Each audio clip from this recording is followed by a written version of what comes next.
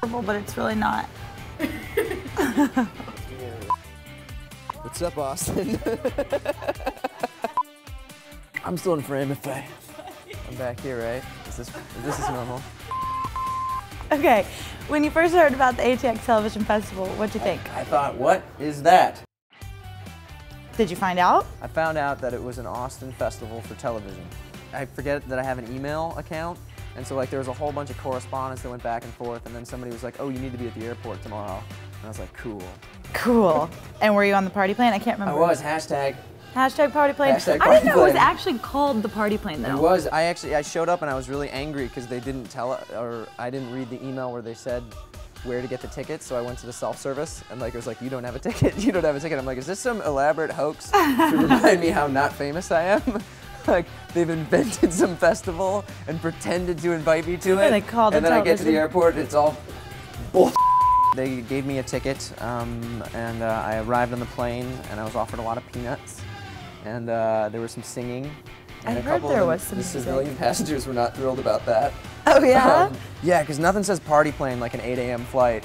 So that's how you found yourself in yeah, Austin Austin's this a great town. It's a great town. Already feel the vibe and you already yeah, dig man, it? that vibe is feeling up That on me like vibe crazy. is feeling. You went to I was Whitehorse. groping that vibe. Yeah, um, yeah. I went to Whitehorse. It's so great. Uh, everybody wears these types of shirts. Like I wore a different shirt yesterday. and I was like, oh, not the uniform. I better get something with stripes and buttons. and uh, faux sweat. Yeah, and faux sweat. I want to make sure that people think I'm uncomfortable. Um, a sweating Uh, face off. How did you find yourself on Raising Hope? Um, well, uh, I was in Chicago, broke, uh, doing storefront theater for nothing. Um, and uh, I just, there was a national casting call, and I went on tape, and you know, they made the biggest mistake of their lives. Oh, debatable. Um, Some some would say brilliance. okay, what, which would you say? TBD. to be determined. No, I went on tape. Uh, I was, I was, you know, um, Wasn't it long? Like a long? It was like three months. Three months of waiting before I got the official say so. So then you submitted that, and he, they were feeling you, but you then had to go Look through a at you formal look excited process. about this. And No, then I was just like, I guess you read something. Right, whatever. Nobody cares. I'm trying to take Um, where's Boy Meets World? Is Rider here? Let's get Rider. That's not even true.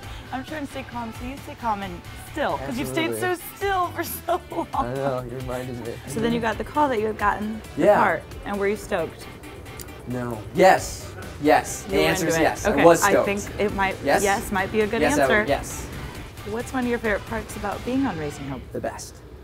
What- The money. Definitely the money. The people. I love the money. The- Yeah, God, money is awesome. Okay. Um, I also love just the art. Mm-hmm. Like I really love the art. I like I like the people I work with a lot. Mm-hmm. I think they're really uh, human. Define human. I think they're like uh, they're incredibly for all of us playing um, idiots. They're incredibly erudite, sophisticated, gentle, and compassionate souls.